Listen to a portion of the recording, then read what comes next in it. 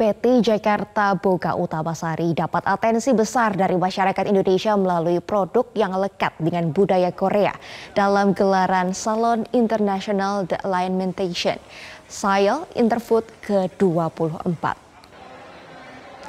CEO PT Jakarta Boga Utamasari Ari Kurniawan mengatakan animo masyarakat terhadap produk dan budaya Korea punya dampak besar pada penjualan produk-produk Samyang Green di Indonesia.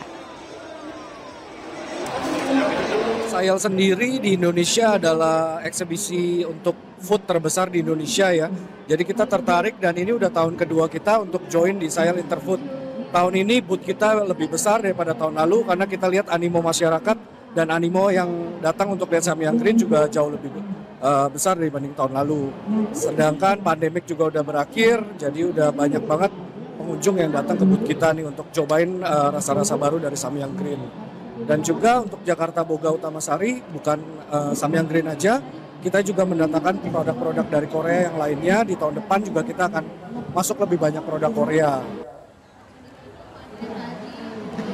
Tidak hanya Jakarta Boga Utamasari, Marketing Manager CV Aneka Sebesa Nutrisindo Leni Gudianto juga merasa diuntungkan dengan popularitas budaya dan serial drama Korea yang menarik minat masyarakat pada produk-produk asal Korea Selatan. Kita sih diuntungkan juga dengan popularitas drama Korea, Mas.